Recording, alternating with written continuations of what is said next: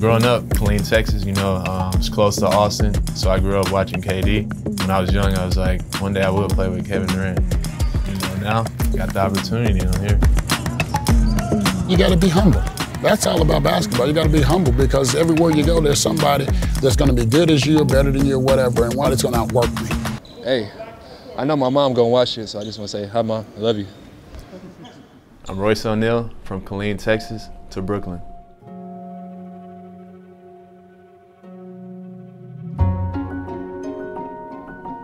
So Killeen, Texas, it's better known as Fort Hood, Killeen. It's a military base.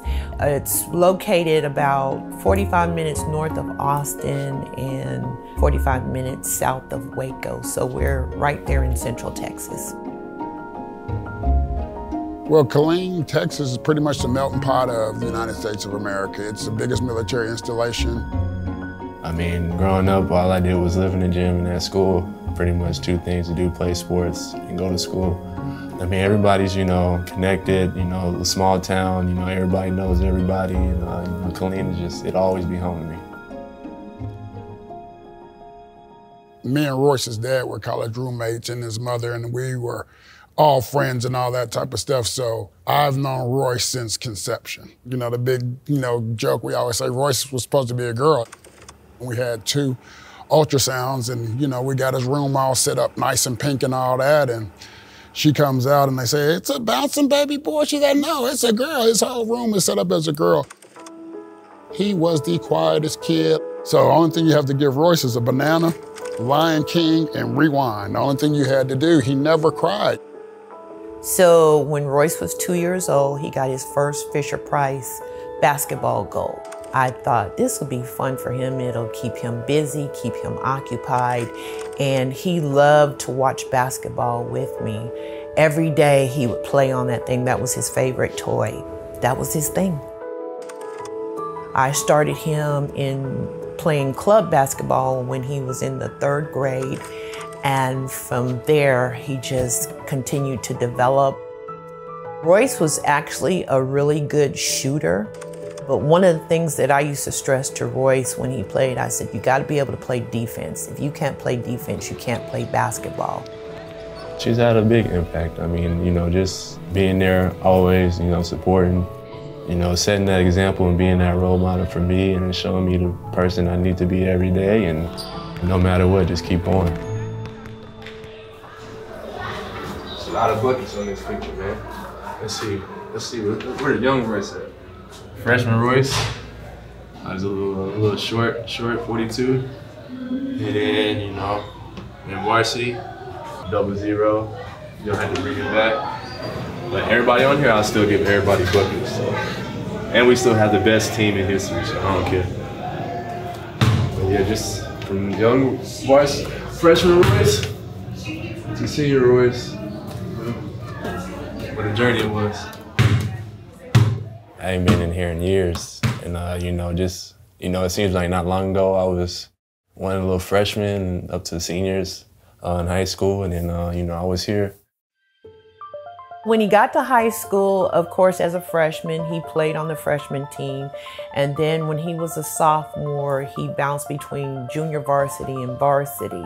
Royce never wanted to be a superstar. He was an under the rim player but he has an ultimate knack for rebounding. And he was a scorer, but it wasn't like a four scoring type of deal.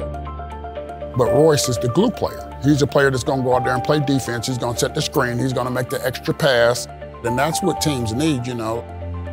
I wasn't always the most athletic, but I had a lot of skill and ability and talent.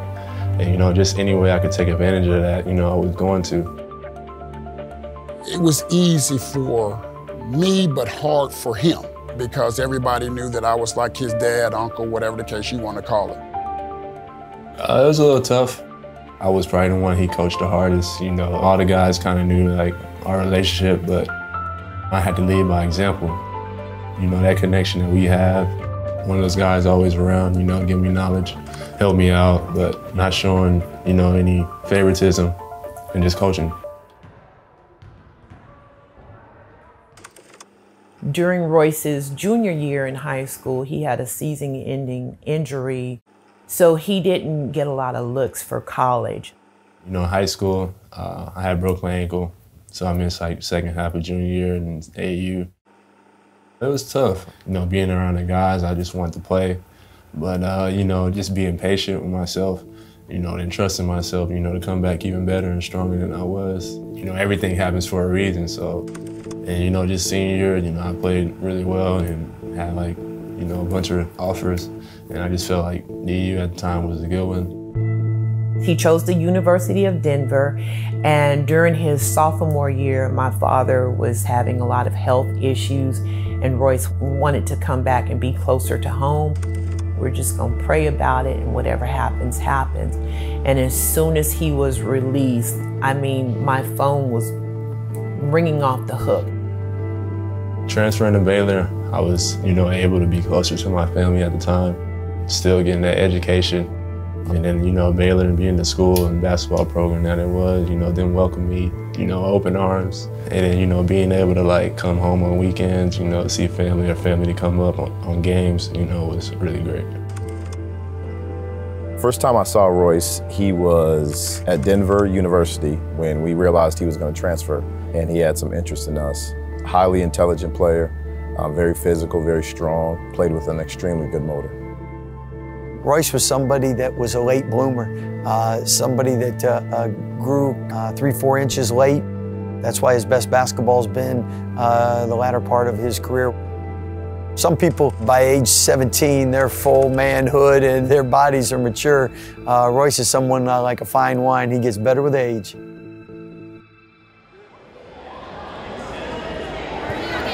Huh? Can I get free tickets to one of your games? Maybe. I was at, you know, these camps, um, you know, each summer trying to get better. So, I mean, just the feeling and being back, it's surreal. He come back and do these camps for these kids and stuff like that. It really makes, you know, a big deal. I was just looking out there, we got like 135 campers that are signed up. They just want to come out and just celebrate because, you know, Royce is just a regular guy, you know. He's just a regular guy and he just still acts like that. Man, I, I, think the kids have an awesome time. You know, I can just reflect back when he was here for his jersey retirement and all the kids, and I'm looking at my high school kids, you know, and then all the kids get to live that dream. To me, that just really makes it where it makes every kid can say, hey man, that could be me. Just, you know, a Cinderella story for these kids in this military town to see that. So Royce had always said, you know, growing up that he wanted to play in the NBA. And I would always ask him, okay, what's your plan if that doesn't work out? And he said, I'm playing in the NBA. Well, 2015, he graduates from Baylor. He declares for the draft and he goes undrafted. And at that point, we had a conversation, and I asked him, I said, Well, what do you want to do now? And he opted to go overseas and play. I was always, you know, had that mindset I was going to make it to the NBA one day. And then, you know, the right situation worked out, and I, you know, got the opportunity with the Jazz, and then, you know, here we are today. Um, actually excited. You know, past couple days I've been exploring, you know, the city, um, trying to, you know, find out more little spots, you know, ways to get around, just sightseeing. Pretty much all the other guys that live here, you know, say it's gonna be, you know, a really dope experience. You know, just from like the people, the atmosphere. You know, I've never been a, a big city guy, you know, uh, so it's definitely gonna be a different experience. But I think, you know, another chapter in the journey. All right, Royce, back to you. What are you going to do? What are you going to do? So that means in the final. I was like, I'm really in New York or Brooklyn now. Just walking around the city, you know, all the fans like showing me love and, you know, welcoming. And then I think everybody's just excited about basketball. And, you know, you can tell it's like a culture thing, like all around the city. Overall, the experience is great. I mean, New York is like different. Um, just being out there, you know, trying to do like the little tourist things, see what spots I like eating at, you know, getting out to the community, showing face, and then being myself. Stop ball! Stop ball! Yeah, Patty! Corner, corner. what he brings to us on and off the court from the, the defensive person he is, you know, being able to spread the floor like he can. We're confident in Royce. We know what he can bring to the table. He's just playing extremely hard for us. Nets holding on to a one-point lead.